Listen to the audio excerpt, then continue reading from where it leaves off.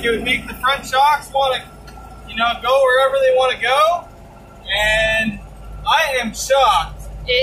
You're That- shocked with the shock Yeah. with the strut. with the performance of everything, I'm surprised that this thing doesn't feel like the leaning tower of pizza. I am shocked. This thing is so stable right now. It's like more stable than we normally pitch shit.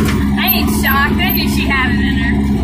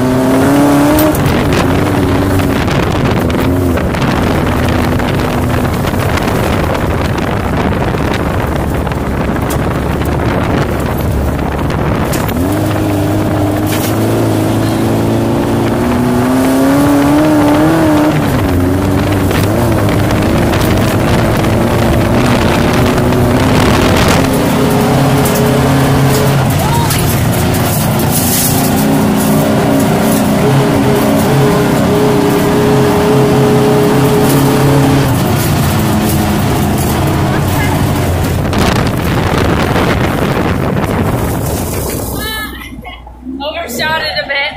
That's okay. Now that we have a, a pretty darn capable Baja bug. Uh,